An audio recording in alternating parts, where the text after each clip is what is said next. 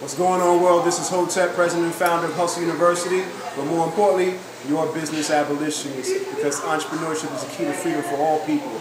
Ownership or slave ship, people, which way you riding? I'm here uh, to talk about Hustle University Homecoming. We just finished up.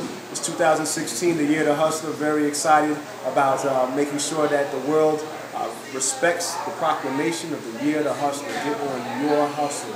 Let's stop waiting for opportunity. Let's start creating our own. My genius is helping people help themselves. And that's why we use entrepreneurship as that vehicle, right? So, just like abolitionists of past, like Frederick Douglass, Sojourner Truth, and Harriet Tubman, I spend all my time helping free people from the plantation. And like Harriet Tubman once said, I, I've freed a lot of slaves.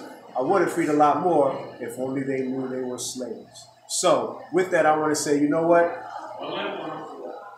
I believe that genius is common.